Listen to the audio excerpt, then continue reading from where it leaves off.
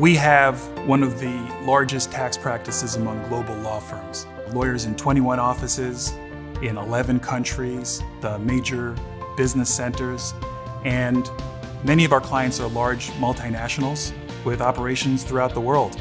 We have a large global footprint because our clients do. We have transactional tax lawyers as well as tax controversy litigation lawyers. We are quintessentially the cross office, cross practice practice. We work necessarily with almost every office and practice on deals, transactions, restructurings. So some of the things that we do include working with our bankruptcy and restructuring teams, representing a company that goes into distress, into bankruptcy, undergoes a sale, undergoes a refinancing, undergoes a global reorganization. And we work through all of those issues together with our corporate teams, M&A, finance, restructuring lawyers, employee benefits lawyers, labor lawyers, you name it. Every practice is involved in this type of engagement. And tax, in many cases, is structuring the deal. The global tax environment and the tax profession has undergone tremendous change in the last few years. There's tax reform in every major country. The United States, for example, in 2017 cut the rates and imposed a minimum global tax, and foreign countries followed with a tax competition, and there's tax controversies that are developing throughout the world.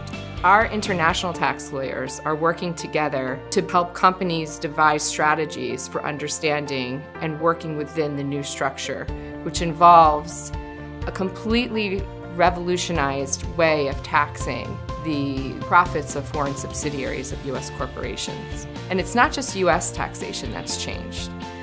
There's global tax reform, and we're working with our lawyers across the world in Amsterdam, in Australia, in the UK, in Madrid, in Milan, in Latin America, in Asia, to address the fact that the global taxation system has completely changed. Nearly every country in the world is changing their tax rules, and the rules aren't consistent with each other.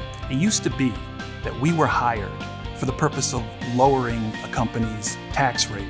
Now the trend is to avoiding double taxation. What we do at Jones Day to make sure that we're staying abreast of all of the changes, which are coming fast and furious, is we're all working as a team in a deliberate and smart way to get our arms around what is a massive amount of regulatory and code change in the US and globally. Never before, in as long as I've been practicing, has tax been this high profile in the media and in the boardroom. Our clients look to us to wade through the complexity and deliver practical, correct, and clear answers in plain language that they can understand. And what's challenging and fun about what we do is that no one size fits all. Each business is unique and different decisions can have a dramatically different impact on the client.